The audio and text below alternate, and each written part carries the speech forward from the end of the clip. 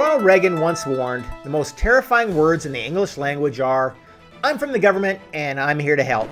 Well, the Canadian government is helping again by following the Communist Chinese game plan down to the letter to help you even harder. You know that just weeks ago they made Canadians safer by canceling elections until some magical point in the future when the COVID finally vanishes. And now they're vowing to make Canadians even safer, helping them by canceling the right to speak. And no, I'm not joking. The House has now voted to implement more draconian controls that completely eliminate the few last remaining remnants of free speech that haven't already been squashed, at least online. Telling you to shut up, Canadians, it's for your safety. And we're going to get into what all that means, why it's worse than you think, and what needs to happen to stop this Orwellian nightmare before it's too late. Welcome back to Renegade News. If you haven't already, smash that subscribe and the notification button, and let's get right into it. Like something out of a movie, this freedom stomping bill passed in the dead of night, after about 1:30 a.m. on June 22nd. According to the National Post, after more than 25 years of Canadians' governments pursuing a hands-off approach to the online world, the government of Justin Trudeau is now pushing Bill C-10, a law that would see Canadians subjected to the most regulated internet in the free world. Bill C-10 was introduced by the federal government's Minister of Canadian Heritage, Steven Guilbeault, last November. But recently, the push to pass this freedom-sapping, heavy-handed bill has raised to a fever pitch. On June 14th, Holly Doan posted about the eight-day deadline and reported that the committee chair, Scott Simms, said, we can't allow debate. We can't allow amendments. So let me get this straight. Canada has existed for 200 plus odd years. But all of a sudden, they had only eight days to make Canadians safer? Honestly, it's a wonder that Canada survived this many years as a nation, given the danger that they were living without having the C10 internet censorship bill. I mean, I wonder if it has anything to do with the fact that elections have now been canceled, or that they're worried that the COVID distraction might be becoming a little bit less effective. But whatever the reason is, shut up, Canadians. It's for your safety. Of course, the Canadian Liberal Party, along with their leftist clones in the NDP, have always had this hard on for limiting your right to free expression. And the C10 Internet Censorship Bill adds to that long line of things, including like Bill C6, which criminalized the biblical teachings about homosexuality, for example. I've fought against the left for a long time about the death of freedom of speech in Canada. And I've always said that either it's free or it's not.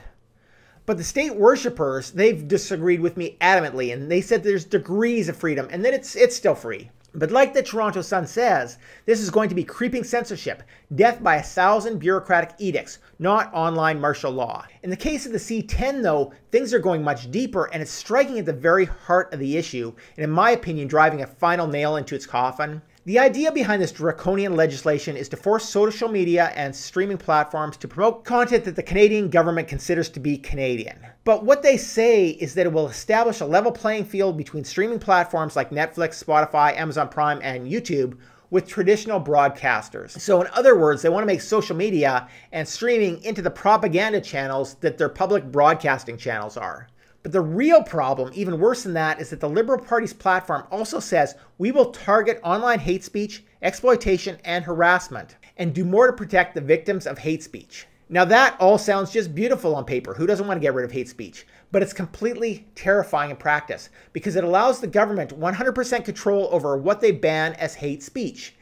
And it's especially problematic since there is no clearly defined definition of what hate speech even is. Also, like everything coming out of the Liberal Party these days, the penalties for daring to not comply with their communist dictatorship henchmen is really severe. It's up to $10 million in fines for corporations for their first offense, and it can go up to $15 million after that.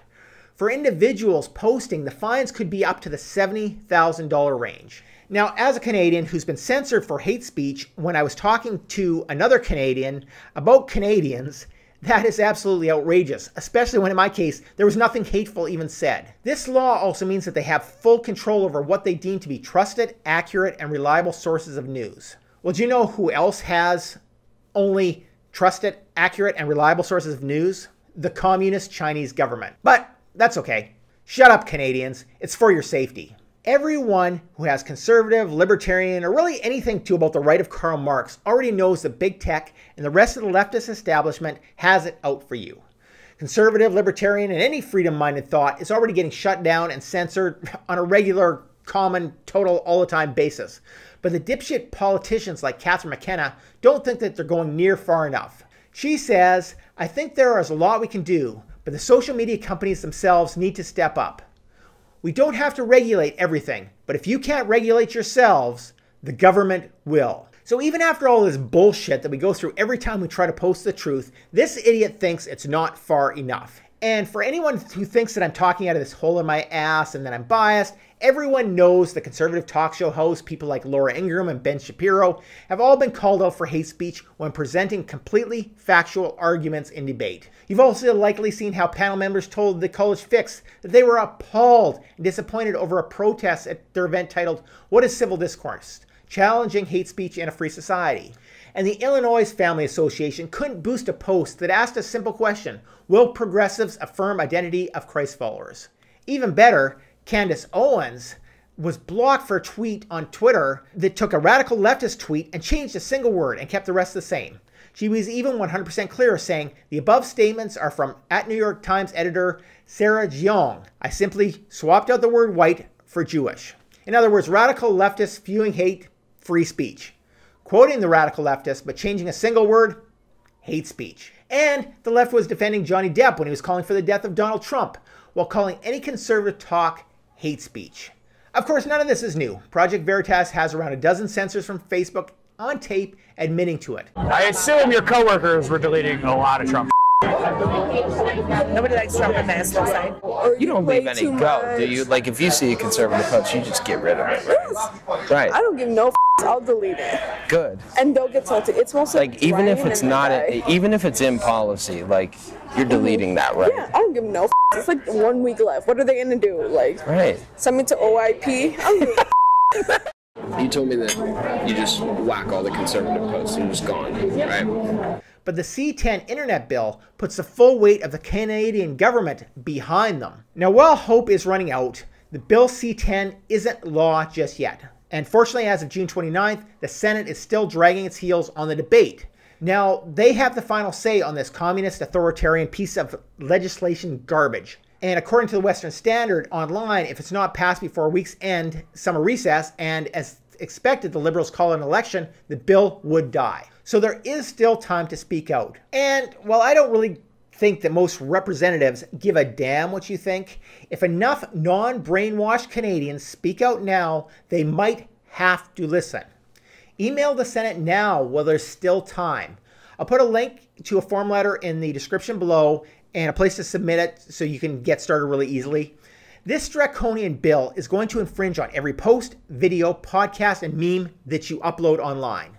And it's going to hit hard every website, at least those that aren't pure text. If you're okay with that, then go ahead, let me know in the comments below. And then go yell from the closest rooftop Shut up, Canadians, it's for your safety. But if you're not, let's drown out those brainwashed tools and let them know in the comments that you're not going to stand for being told to shut up for one more fucking second. And remember, peaceful resistance is not futile. If you haven't subscribed yet, make sure that you click the link in the description and subscribe right now so that every week you get the inside scoop on the latest infringements and wins in your fight for more freedom and liberty. If you enjoyed this edition of Renegade News, please hit the like and the share button. We would really appreciate it.